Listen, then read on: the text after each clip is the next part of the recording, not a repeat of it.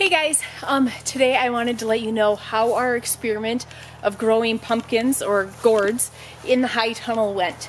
And overall, it went good. It was a good experience. I learned a lot, um, but let me show you some issues that we had.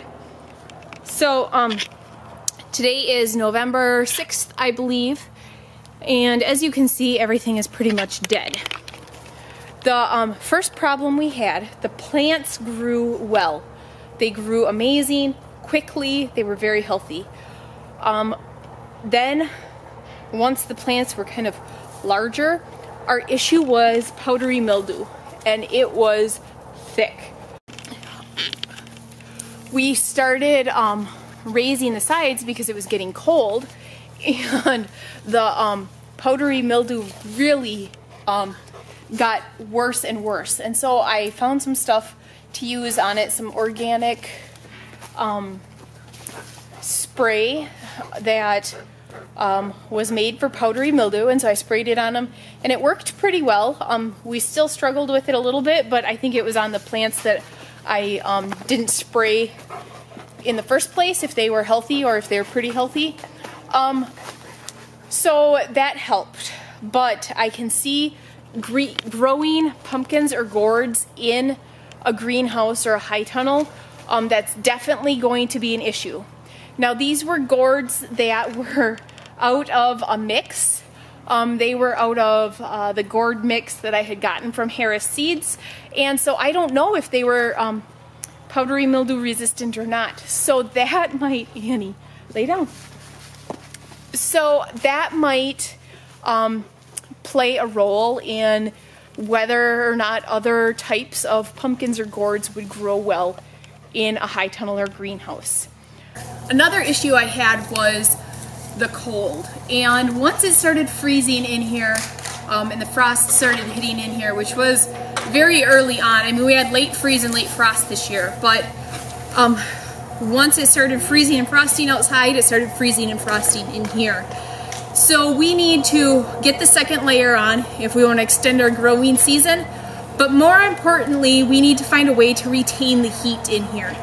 And I think had that had we had that to begin with, um, the they would have lasted a lot longer. They did well um, until it really started the hard frosts hit and the hard freezes hit.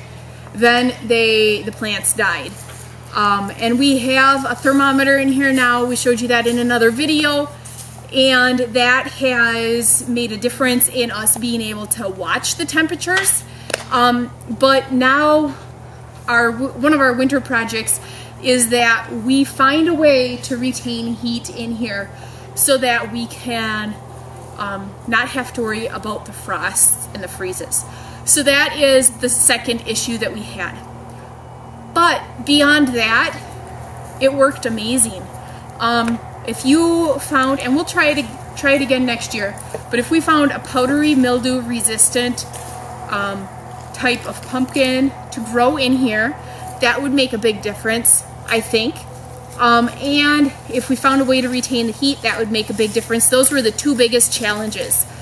Um, but other than that, they grew really well. I mean, we got in just a few weeks, we got some decent size gourds. And this is, this was a small gourd mix. So this is a small gourd. It's a standard small gourd. So they grew, and they actually kind of grew bigger and better than what they did out there. So I feel like this was successful.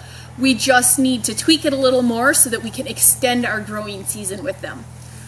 We definitely will try a few different varieties in here next year making sure that they're powdery mildew resistant and probably more cold hardy. Um, the thing I worry about that, and I'll have to research, is that if I get cold hardy, will they be um, tolerant to the high heat that gets in here, especially in the late August um, when it gets very, very hot in northern Wisconsin.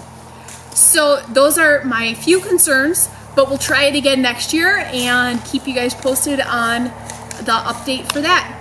Thanks for tuning in and we'll see you next time.